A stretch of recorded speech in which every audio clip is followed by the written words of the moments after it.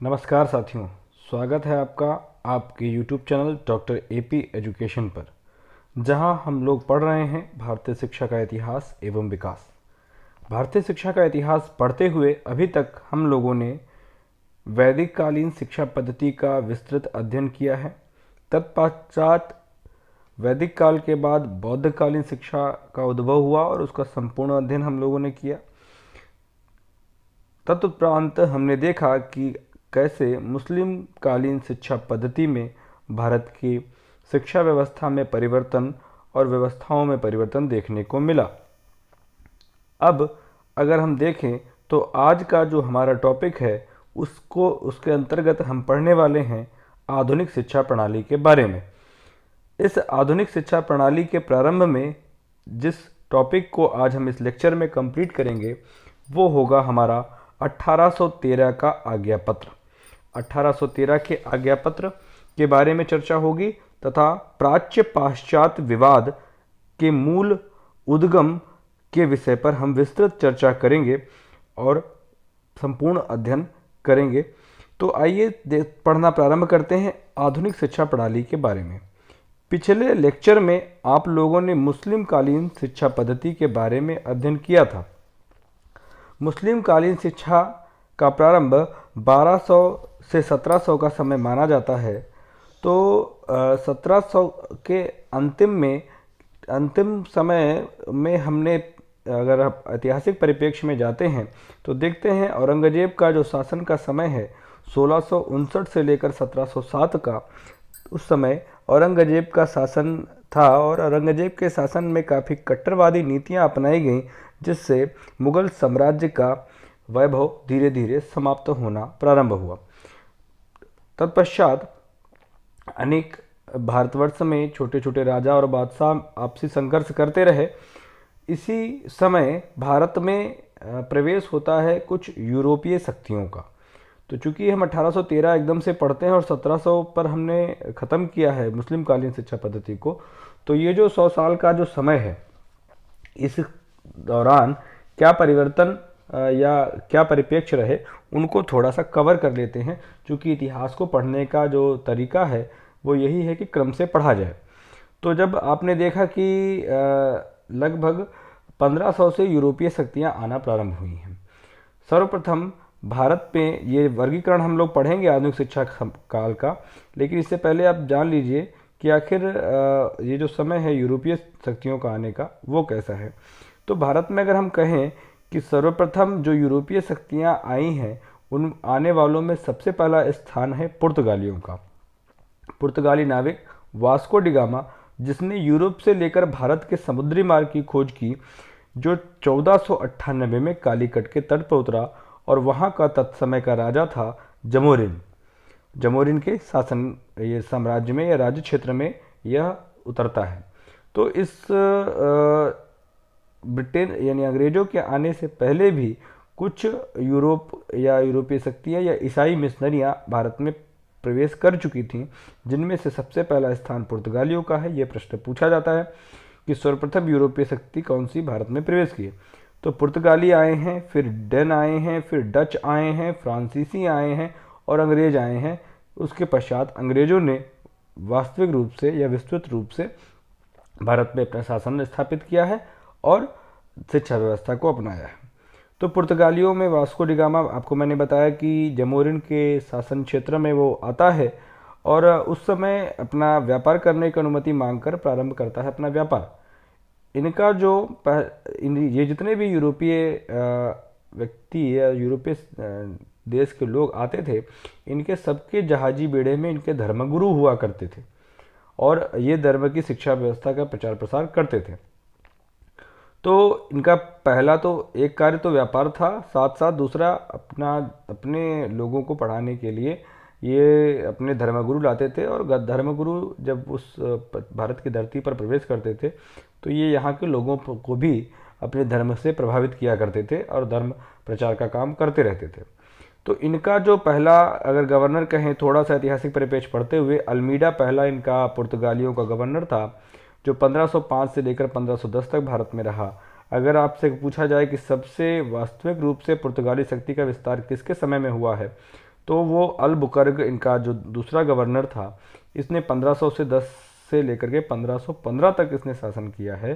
परंतु इसी ने भारतीय महिलाओं के साथ, यूरोपीय व्यक्तियों की शादी का एक प्रस्ताव रखा, जिससे पुर्तगालियों को भारत के देश में स्वीकृति मिल सके, परंतु इसकी बहुत ज़्यादा ये नीति सफल हो नहीं पाई। जैसा कि मैंने आपको बताया कि कई सारे धर्मगुरु भी इन्हीं के साथ आया करते थे तो आपने वर्तमान समय में कई सारे कॉन्वेंट स्कूल्स के नाम देखे होंगे। Saint Francis Xavier's Robert de nominee तो ये जो फ्रांसिस जेवियर्स हैं वो और कोई नहीं, इनके धर्मगुरु हैं और इन्होंने गाँव में घूम घूम कर ईसाई धर्म का प्रचार किया और हिंदुओं को ईसाई बनाया, काफ़ी मात्रा में। धर्म परिवर्तन का कार्य इन्होंने किया है। अब जब पुर्तगाली प्रवेश किए हैं तो सोलह में इन्होंने गोवा में अपना, सोलह है ये उन्नीस सौ छप्पन यहाँ पर लिख गया है गलती से लिख गया है। सोलह इसको आप लोग पढ़ेंगे। सोलह का जो समय है, उस सोलह में हम लोग पुर्तगालियों ने अपना छापा खाना खोला है। उसके पश्चात फिर इनका जब साम्राज्य ज़्यादा बढ़ने लगा तो शाहजहाँ से इनसे संघर्ष हुआ और उनको फिर शाहजहाँ ने भगा दिया और एक गोवा तक ही सीमित रहे। फिर अनेक लोग आए, जैसा मैंने आपको बताया, लेकिन डच जो यूरोपीय शक्ति थे, डच जो थे, उन्होंने धर्म प्रचार के लिए शिक्षा को केंद्र या विद्यालय को केंद्र नहीं बनाया। उसके बाद डेन आए हैं। डेन 1680 में आए हैं। डेनों ने जो शिक्षा के क्षेत्र में योगदान दिया है वो एक शिक्षण प्रशिक्षण विद्यालय की स्थापना 1716 में की है। हम लोग सत्रह सौ पर आ चुके हैं। ठीक है? 1716 में शिक्षक प्रशिक्षण विद्यालय की स्थापना की है। डेन मिशनरियों को ही भारत में आधुनिक शिक्षा का प्रवर्तक माना जाता है। अब डेन मिशनरिया माने इंग्लिश मीडियम स्कूल चलाने वाले लोग। उनके उस समय के जो व्यक्ति या जो लोग आते थे वो। फिर इसी समय इंग्लैंड में ईस्ट इंडिया कंपनी की स्थापना हो रही थी और ईस्ट इंडिया कंपनी 31 दिसंबर 1600 में बनाई गई। फिर वो भारत में प्रवेश करती है। इसने 1611 के मछलीपट्टम और 1613 में सूरत में अपने कारखाने खोलना प्रारंभ किया और व्यापार अपना स्थापित करने में सफल रहे। इस तरीके से आपने देखा कि किस प्रकार से भारत भारत में जो भारत की सोने की चिड़िया थी, इस सोने की चिड़िया की को विदेशी आक्रमणकारियों ने इसकी पूरी आत्मा को झकझोर कर रख दिया था। इसी समय भारत के जो ग्रंथ थे या शिक्षा संबंधी, चूँकि पद्धति हम पढ़ रहे हैं, शिक्षा के बारे में पढ़ रहे हैं तो ऐतिहासिक परिप्रेक्ष्य की बहुत ज़्यादा चर्चा न करते हुए मैं सीधे आपको एजुकेशन पॉइंट ऑफ़ व्यू से समझाने का प्रयास करता हूँ। अरबी शिक्षा विभाग ऑक्सफोर्ड विश्वविद्यालय में 1636 में खोला गया है और लगभग आपसे कहा जाए या पूछा जाए कि प्रथम विद्यालय अंग्रेज़ मिशनरी भी आएँगे। मिशनरी मतलब धर्मगुरु। इनके जो विद्यालय जो भी देखिए, मिशनरी जो आते हैं, ये मिशनरियाँ भारत देश में इन्होंने शिक्षा को एक माध्यम बनाया अपने धर्म प्रचार करने के लिए। शिक्षा व्यवस्था का, को इन्होंने इसलिए अपना रास्ता चुना क्योंकि आप ने देखा कि वैदिक काल और बौद्ध काल में एक विस्तृत और बहुत ही समृद्ध शिक्षा व्यवस्था भारत में पनप चुकी थी। परंतु इस्लामिक आक्रमणों के बाद आपने देखा कि किस प्रकार से भारत के अच्छे अच्छे शिक्षण संस्थानों को तोड़कर जला दिया गया, उनके पुस्तकालयों को जला दिया गया, उनके अध्यापकों की हत्या कर दी गई और इस इसकी वजह से संपूर्ण जो शिक्षा पद्धति देश के व्यक्तियों में जिसका अध्ययन कर रहे थे, वो उसको पर रुकावट लगी और एक नई व्यवस्था भी लागू हुई। परंतु उस व्यवस्था, चूँकि ये विदेशी व्यवस्था थी, जिसको भारत के लोगों ने बहुत अच्छे मन से स्वीकार नहीं किया तो जब दो तीन अब उसके बाद फिर यूरोप के लोग आए हैं, इन्होंने अपनी शिक्षा व्यवस्था के प्रयास करने लगे। तो दो तीन चार प्रकार की शिक्षा व्यवस्था का जब आपसी संघर्ष हुआ तो कोई भी शिक्षा व्यवस्था व्यापक रूप से संपूर्ण भारत में फैल नहीं पाई, जिस कारण से लोग यहाँ पर आएँगे और लोग कहेंगे कि भारत के लोग काफ़ी अशिक्षित हैं और इनको शिक्षा और ज्ञान विज्ञान का कोई विशेष ज्ञान नहीं है। इस, ये एक बड़ा कारण है भारत में जो लोग ये अशिक्षित कहेंगे, आगे हम लोग चर्चा करेंगे, उसका एक बड़ा कारण है।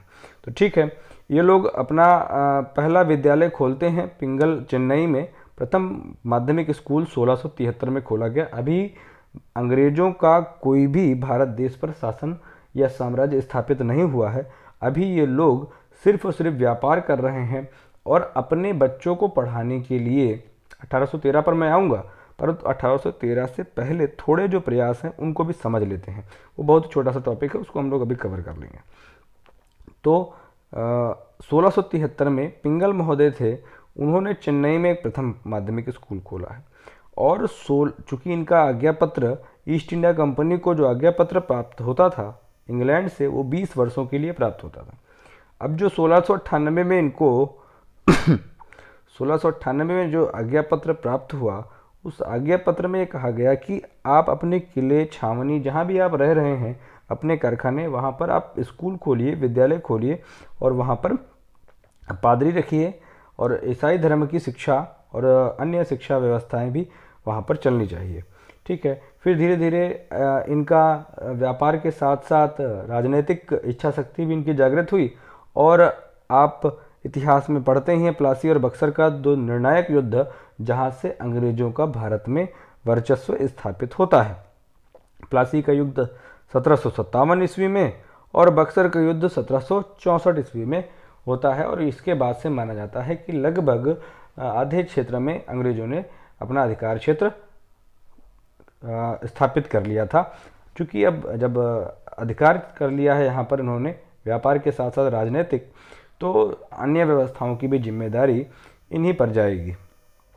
अब बंगाल में कुछ स्थान है जहाँ पर ये अपना प्रयास कर रहे हैं और विद्यालय खोलने का और लोगों में जन जागरण का काम करते हैं जन जागरण के नाम पर अपने ईसाई धर्म का प्रचार प्रसार कर रहे हैं। तो अपने धर्म का प्रचार प्रसार करने से पहले ये जो यहाँ पर स्थापित धर्म है, उनकी आलोचना करना प्रारंभ करते हैं। तो इन्हीं में से कुछ लोग हैं, एक श्रीरामपुर जगह थी बंगाल में, बेनी बोलेंट इंस्टीट्यूशन नामक संस्था की स्थापना की और जिसमें इन्होंने बाइबल को छपवाया है और अब खूब बांटना प्रारंभ किया बैपिस्ट मिशन था और इसने काफ़ी किताबें बांटी और उसी समय कैरे वार्ड मार्समैन, ये तीन लोग थे जिन्होंने हिंदू धर्म की आलोचना की, इस्लाम धर्म की आलोचना की मोहम्मद साहब को झूठा पैगंबर कहा। ऐसी बात कहते ही भारत में विद्रोह स्थापित हो, विद्रोह उठ गया। बिल्कुल ज़ाहिर सी बात है, किसी के धर्म पर आप बात करोगे तो। तो विद्रोह जब हुआ तो चूँकि ईस्ट इंडिया कंपनी अब आप, आप इस बात को थोड़ा समझिएगा कि ईस्ट इंडिया कंपनी के जो अधिकारी थे उनका मूल उद्देश्य व्यापार करना और शासन करना था। ये जो मिशनरी थे धर्मगुरु थे इनका काम था क्या? धर्म प्रचार करना। तो इनके और ईस्ट इंडिया कंपनी के जो अधिकारी थे इनके बीच में आपस में तनातनी हो गई। तो जब विद्रोह स्थापित विद्रोह हो गया तो उनका इस जो उस समय का गवर्नर जनरल था लॉर्ड मिंटो उसने इनको पकड़वाया नज़रबंद कराया और चुपचाप किया अपना बेटा बोरिया बिस्तर बांधो और निकल लो इंग्लैंड के लिए। तो फिर इनको इंग्लैंड भगा दिया इसने। क्योंकि यहाँ पर विद्रोह हो जाता तो फिर वो जान रहा था कि अगर मूल जनता अगर कहीं पर आप एक बात और जानिएगा। ये जो भारत में आ, कितने भी सारे युद्ध हुए हैं इन सभी युद्धों में संपूर्ण भारतीय जनता सम्मिलित नहीं रही है। एक हमारे यहाँ कहावत है कि को निप होए, हमें का हानि। को राजा होगा, हमसे क्या मतलब है? तो प्लासी और बक्सर का युद्ध हो रहा था एक खेत में और अगले मैदान में लोग अपनी खेती कर रहे थे। ठीक है? तो इस तरीके के लोग वहाँ देख भी रहे थे, किनारे बैठे हुए कि कौन जीतेगा। तो ये देश का हाल था उस समय और अभी भी कुछ ऐसा ही स्थिति है। तो थोड़ा सा इस पर हमें चिंतित होना चाहिए। तो इनको भेज दिया भाई। अगर अगर वो वास्तविक जनता अगर भारत में अंग्रेज़ों के खिलाफ हो जाएगी तो शासन करना कठिन हो जाएगा। इस दृष्टि से फिर उनको बाहर भेजा गया। तो वो इंग्लैंड में पहुँच भी अपना अपना जो धर्म प्रचार करने का जो मांग थी, वो वहाँ पर आंदोलन चलाना शुरू कर दिया। यहाँ तो उनकी दाल गली नहीं तो उनको एक नेता भी मिल गए वहाँ पर, चार्ल्स ग्रांट थे। चार्ल्स ग्रांट ईसाई मिशनरियों का नेतृत्व कर रहे थे इंग्लैंड में, कंपनी के विरुद्ध। तो अब आने वाला था सत्रह सौ तिरानबे में कंपनी के लिए आज्ञा पत्र इसीलिए ज़्यादा बवाल मचाए थे ये लोग। तो सत्रह सौ बानबे में चार्ल ग्रांट चार्ल्स ग्रांट ने एक अपनी पुस्तिका इंग्लैंड में ही प्रकाशित की भारतीयों के नाम से और उसमें भारतीयों की अज्ञानता को दूर करने के पाँच सुझाव दिए। ये भारतीयों को मूर्ख मानते थे और इनका, कहते थे ये सब अशिक्षित हैं। इनको शिक्षा देना बड़ा ज़रूरी है। और इन्होंने कहा कि पाँच सुझाव दिए हैं। अंग्रेज़ी को शिक्षा का माध्यम उचित व्यवस्था, अंग्रेज़ी भाषा साहित्य पढ़ाया जाए, ज्ञान विज्ञान पढ़ाया जाए, और भारत में ईसाई धर्म का व्यापक रूप से प्रचार प्रसार किया जाए। तो भैया, इनको जब ये नेता थे, एक साथी और मिल गया सदन में। उसका नाम था रॉबर्ट विल्वर फोर्स। इसने सत्रह सौ तिरानबे में ईस्ट इंडिया कंपनी के आज्ञा पत्र में चार्ल्स ग्रांट की सिफारिशों को जोड़ने का प्रस्ताव रखा। कहा कि ठीक है, हम इस पर जोड़िए, जोड़ना चाहिए, संसद सदस्य था ये। लेकिन उसी संसद में विरोधी पक्ष का भी एक व्यक्ति था, रैंडल जैक्सन। ये ज़्यादा ताकत मतलब भौकाली था। इसीलिए इसका जो विरोध था, इसके विरोध के कारण सत्रह सौ तिरानबे में ईसाई मिशनरियों की दाल नहीं गली और इन्हें धर्म प्रचार की या शिक्षा के प्रचार प्रसार की, के माध्यम से धर्म के प्रसार की छूट नहीं मिल पाती है। और फिर अपना अनशन वनशन करेंगे भूख हड़ताल पर बैठेंगे। तो इस सत्रह सौ तिरानवे से लेकर के 1813 तक के जो समय है, उसमें सिर्फ़ और सिर्फ़ कुछ विद्यालय ही व्यक्तिगत रूप से स्थापित किए गए हैं। तो कलकत्ता मदरसा में सत्रह कलकत्ता मदरसा सत्रह सौ इक्यासी में बंगाल के तत्कालीन गवर्नर वारन हेंस्टिंग ने बनवाया। ये पूछा जाता है, कलकत्ता मदरसा सत्रह सौ इक्यासी, सत्रह सौ इक्यासी, फिर सत्रह सौ इक्यानबे में आइए Banaras Sanskrit college, Jonathan Duncan ji के द्वारा बनवाया गया। विलियम फोर्ड विलियम कॉलेज 1800 में बनवाया गया, लॉर्ड वेलाजोली के द्वारा, और Saint Fort Saint George college 1818 Chennai में। ये उतना महत्वपूर्ण नहीं है, लेकिन ये तीनों कॉलेज आपके लिए कलकत्ता मदरसा, बनारस संस्कृत कॉलेज और फोर्ट विलियम कॉलेज, ये तीनों बहुत महत्वपूर्ण है जो परीक्षाओं में पूछे जाते हैं। अब भाई 20 साल तक लगभग ऐसे चलता रहा खेल। फिर समय आया एक नया 1813 का सत्रह सौ तिरानबे के बाद। अब ये हमारा मूल टॉपिक है। तो सत 1813 का जब फिर से वहाँ पर पास होना था तो ये फिर अपना हल्ला मचाना शुरू किए ईसाई मिशनरियाँ अपने नेता के प्रयासों में। तो प्रश्न बनता है कि ईस्ट इंडिया कंपनी का आज्ञा पत्र कितने वर्षों के बाद पुनरावृत्ति हेतु इंग्लैंड पार्लियामेंट में पेश होता था? तो वो उत्तर होगा आपका 20 वर्षों के बाद। अब सत्रह सौ तिरानबे के 20 वर्ष बाद 1813 में कंपनी के आज्ञा पत्र में तीन धाराएँ और जोड़ दी गईं। अब ईसाई मिशनरी अपने प्रयास में सफल हो गए। ये बात आप समझिएगा। तो सत्रह सौ तिरानबे में सफल नहीं हो पाए थे। 1813 में तीन धाराएँ जोड़ी गई हैं और जिसमें से ईसाई मिशनरियों को शिक्षा प्रसार की स्वतंत्रता दे दी गई है 1813 के आज्ञा पत्र में। अब चार्ल्स ग्रांट इसका नेतृत्व कर रहे थे। और भारत में ईसाई मिशनरियों के द्वारा कॉन्वेंट स्कूल के माध्यम से भारत में शिक्षा व्यवस्था प्रचलित होगी। इसीलिए आधुनिक शिक्षा का पिता भी या आधुनिक शिक्षा का, भारत में आधुनिक शिक्षा का जनक भी चार्ल्स ग्रांट को कहा जाता है। ये प्रश्न पूछा गया। फिर एक बात तो कह दी, एक तो छूट मिल गई ईसाई मिशनरियों को शिक्षा का प्रसार प्रसार करने की। दूसरा एक बात कहा गया, यही लोग मतलब ये कह रहे थे कि शिक्षा शिक्षा बात करो, इनका मूल काम था धर्म परिवर्तन का, ईसाई धर्म का प्रचार प्रसार करने का। लेकिन ऐसा कहते तो लोग वैश्विक रूप से ये बात स्वीकार न होती, लेकिन इसीलिए ये शिक्षा कह रहे थे। तो दूसरा कहा गया कि भाई, ईस्ट इंडिया कंपनी का जो दायित्व तो है, वो दायित्व तो रहेगा जनसाधारण की शिक्षा व्यवस्था करना। क्योंकि आप वहाँ पर कर ले रहे हो टैक्स ले रहे हो तो इसलिए आपको वहाँ के लोगों को शिक्षित करने का भी उत्तरदायित्व तो बनता है। तो एक तो ये दूसरा काम मिल गया। एक काम मिल गया कि ईसाई मिशनरियों को खुली छूट मिल गई। दूसरा मिल गया क्या कि जनसाधारण की शिक्षा व्यवस्था का उत्तरदायित्व तो किसे दे दिया गया? दे दिया गया आपको 1813 के आज्ञा पत्र में ईस्ट इंडिया कंपनी को दिया गया।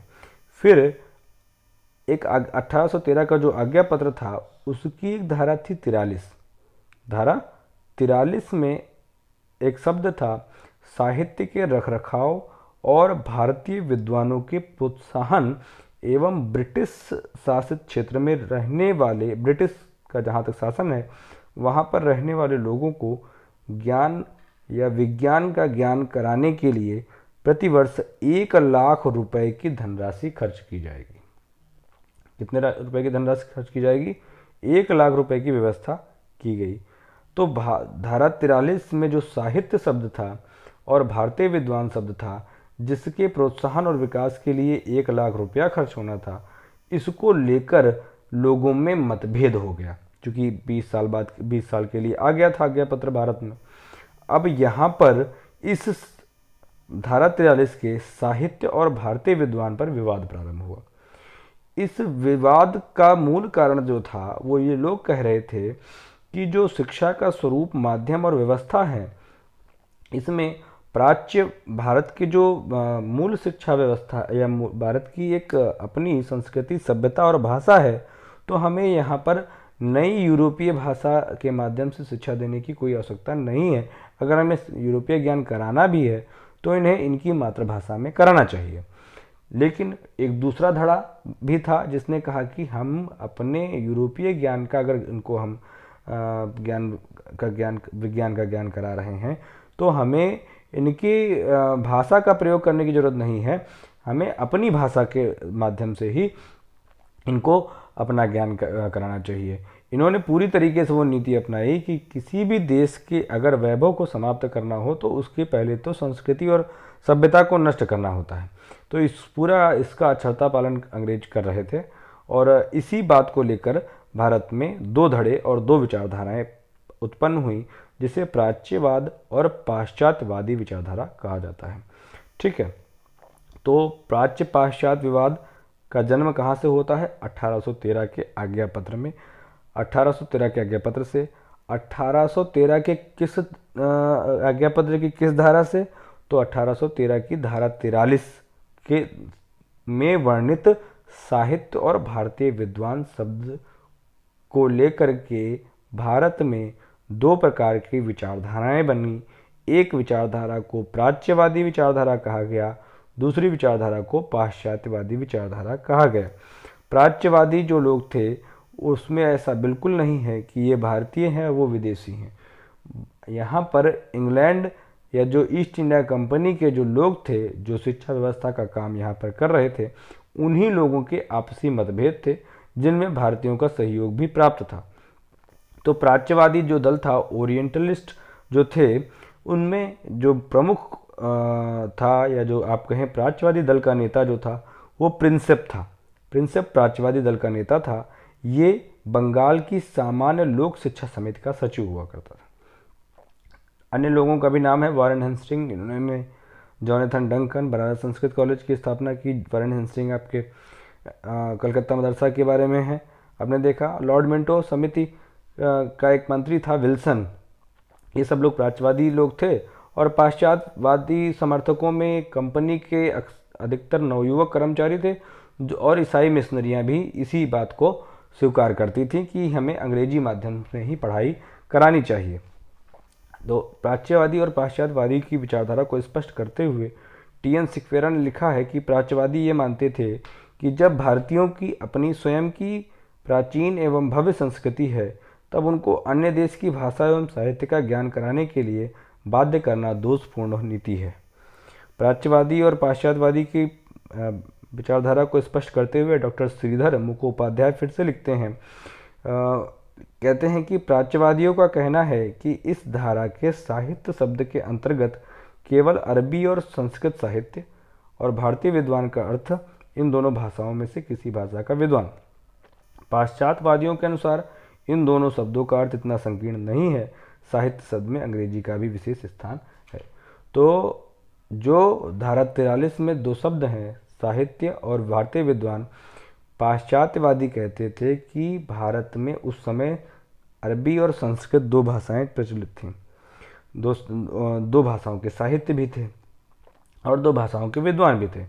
तीसरा ये लोग थे जो यूरोप से आए थे, अंग्रेज़ी भाषा का साहित्य था और अंग्रेज़ी भाषा के विद्वान थे।